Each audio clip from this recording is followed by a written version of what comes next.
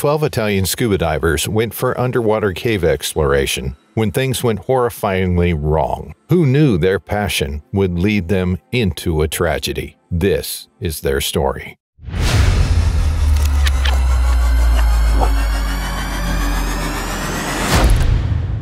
On Friday, August 19, 2016, 12 divers went diving in the beautiful underwater caves of Palinuro, Italy.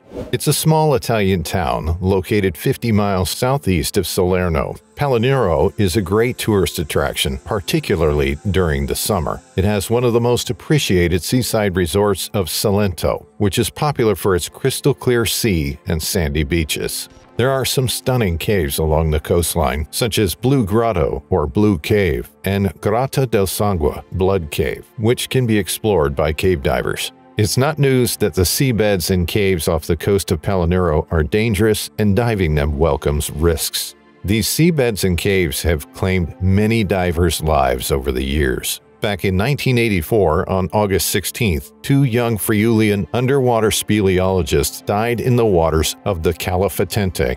On June 30th, 2012, another accident was reported in the waters of Palinuro where four divers lost their lives. It was believed that the roof of the cave collapsed. Last to mention in the order of time, an incident took place in the area of the Blood Cave, where four divers luckily managed to escape. On August 19, 2016, the group of 12 scuba divers went to explore the beauty of the underwater caves of Palinuro. Among them, there were three divers, Mauro Camardella, the owner of a local diving center, Mauro Tancredi, a local man, and Silvio Anzola from Milan. They were all experienced scuba divers. Camardella and Tancredi were diving instructors of the best-known diving centers in Palinuro. August 2016. It was a Friday morning when these three expert scuba divers were among a group of 12 divers who went diving in the waters of Palinuro. One of the rules of cave diving is to get yourself familiar with the weather conditions right before you go diving, else you might wind up struggling for your life in the middle of the ocean. The dive was all planned and everything was set, from maintaining a guideline to light sources and the rule of thirds for gas management. For those of you who are not familiar with the rule of thirds, Listen closely. When cave diving, one third of the total air supply is used for entering the cave. The second third is used for exiting the cave, and the last third is only used in case of emergencies. The dive was supposedly on a wall, immersion in parete, but in this wall are a few cave openings. All of the group members returned safely, except the three. The three missing divers failed to re-emerge after the dive at around 10 a.m. The fellow divers waited for them for quite some time, but to no avail. After a few hours of waiting, the matter got on their nerves. They searched for the three divers, but none of the members found them, which left them in chaos. The three divers, Mauro Camardella, Silvio Anzola, and Mauro Tancredi, went missing, and there was little hope of finding them. It was surprising because those three divers who went missing were highly professional scuba divers. There was no trace of the missing divers. The searches continued throughout the night, but no favorable outcomes were obtained from the search. The negative result weakened any hope of finding them still alive. Now they had no other option but to report the missing divers to the authorities. Fabio Barbieri, a 61-year-old man from Genoa who had been in Palinuro since 1983, was an expert diver and was the first to map the tunnel of the Scaletta. He feared that the three missing divers might have been trapped in that tunnel. The tunnel is not a good place for beginners to explore. It extends to a length of 52 feet and has a height of only 4 feet. The complexity of the tunnel brings in huge danger and risk of accidents, which explains why it's not recommended for beginning cave divers. Although the divers were expert scuba divers, many suspect that they were not certified for cave diving. It was anticipated that the three perished inside of the cave. According to Fabio, who mapped this hard-to-explore tunnel, there's an air bubble in the cave, but it doesn't sustain life for long. It's assumed that the three divers might have been stuck in the confined and narrow tunnel. It probably took too long for them to escape and they lost their lives. The Port Authority asked Fabio to dive when the SOS arrived, but he responded in the negative, saying that the water was cloudy, so he couldn't see anything. He explained that tunnel is not at all easy to cross, both due to its narrowness and the muddy bottom. Anything could have happened to the three divers a technical problem, an illness, or a phase of breathlessness. In the meantime, on various social media platforms, many people expressed their pain and grief over the tragedy at Palinuro.